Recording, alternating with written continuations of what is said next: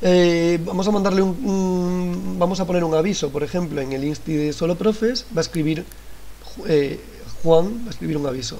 Send an announcement y le llegará a todos. Me gusta remind, por ejemplo. Y sería un anuncio de clase y lo puede enviar a todos en las clases en las que él está. Por ejemplo, en este caso es para la de profes. Como también es propietario de estas dos, podría mandarlo en estas dos. Ahí está. Puede añadir un adjunto, un fichero. Eh, puede programarlo a una cierta hora si quiere y puede traducirlo. Y lo publica. Otra cosa bien distinta sería enviar una conversación. Aquí, en, un grupo, por ejemplo, en el grupo de todos, puedo buscar uno de los usuarios, perdón, en, el grupo en el que yo veo los usuarios, que es en el grupo en el que soy propietario, puedo mandar mensajes o puedo escribir mensajes a los que yo veo, por ejemplo, a este usuario que es el propietario de este grupo. Y sería un mensaje entre profesores. Send message. Ahí está. Y aquí lo pondría.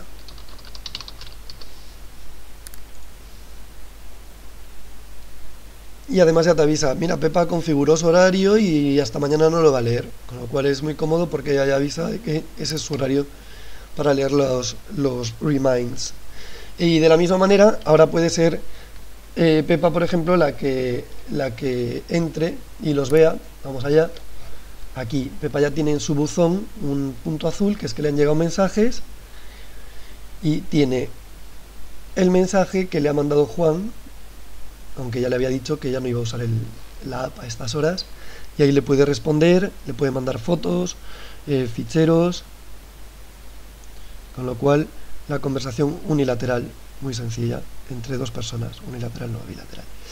Eh, y de la misma manera, en las clases puede ver los anuncios. En esta de Insti Solo Profes aquí hay un aviso programado me gusta Remind porque con Juan lo hice mal. A Juan ya le ha llegado aquí la respuesta de Pepa ya tiene la conversación iniciada y este aviso de Juan en Solo Profes lo publiqué cuando les enseñé que se podían programar no lo puse inmediato. Si quiero poner uno inmediatamente venía aquí, bueno aquí lo puedo editar o borrar porque como está programado voy a programar uno inmediato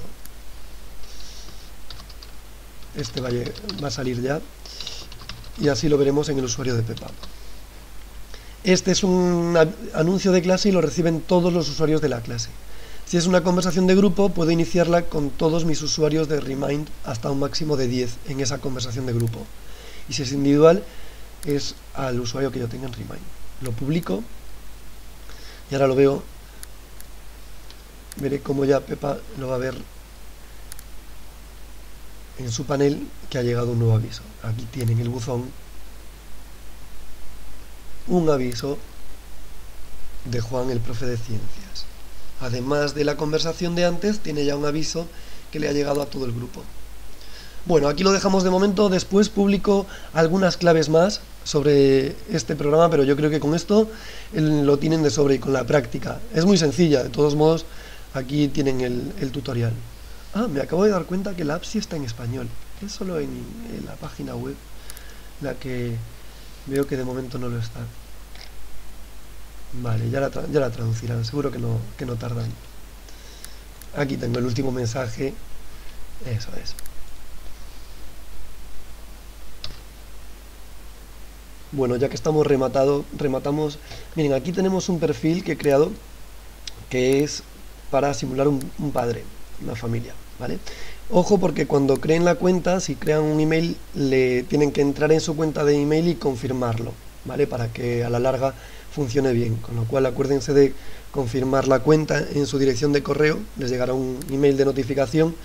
Bueno, pues aquí eh, este padre se ha unido, como es lógico, al grupo del Instituto de Todos y al grupo de, por ejemplo, donde su hijo o hija, en este caso hijo, da clases, eh, recibe clases.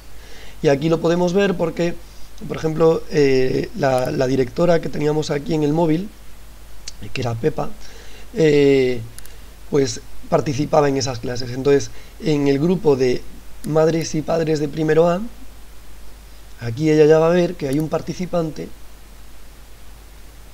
además del otro profe Juan que lo había creado, ya está el padre de Ale Pérez. Y ella aquí ya puede escribir y ya puede comunicarse o bien, bueno, esto es añadir personas encima del icono de la personita que está aquí. Y si quiere dar avisos aquí.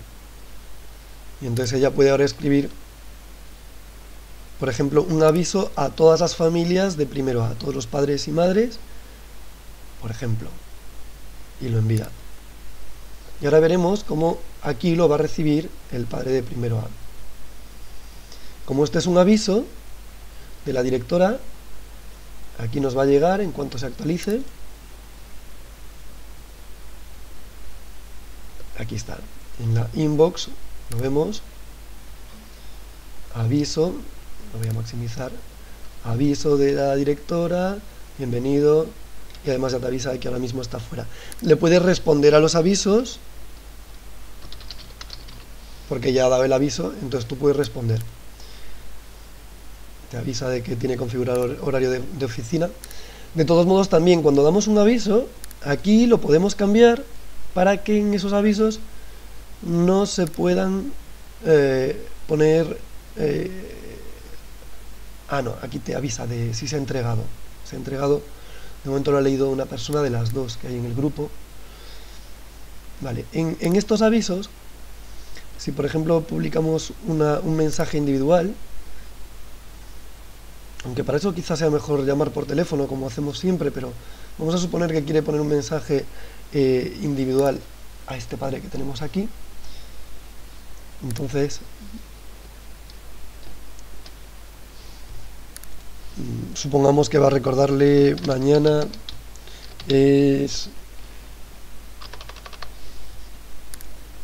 bueno, pues el evento que quiera recordar. Imaginemos que se lo quiere recordar a esta familia por algún motivo, para que su hijo se acuerde de, traer un material.